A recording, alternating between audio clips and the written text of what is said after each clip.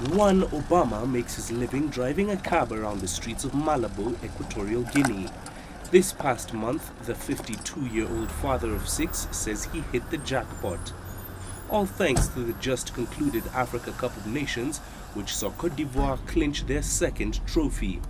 The thousands of football fans that traveled to Equatorial Guinea translated to a business boom for taxi drivers. Cuando se organiza un evento como When they organize an event like this one, people from all over the world come here, mostly from African countries.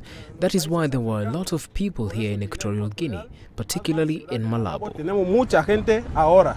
Despite being last-minute hosts of the tournament, Equatorial Guinea stunned many by reaching the semi-finals. Bueno, Well, before it started, the atmosphere here was pretty normal. But after the tournament began, moreover, when Guinea started winning all matches, the atmosphere changed and people got really excited, especially when we played against Tunisia, a match that Equatorial Guinea nearly lost, and in which Balboa scored the two goals. Everyone was really happy, and lots of people went out. People were euphoric. There were cars all over the city. Everything was fantastic.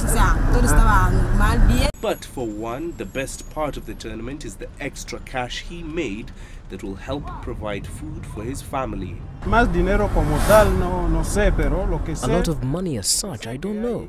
What I do know is that when there is a lot of people moving about, there is money coming in. entre el dinero. Despite oil and natural gas wealth, the country still struggles with poverty and unemployment.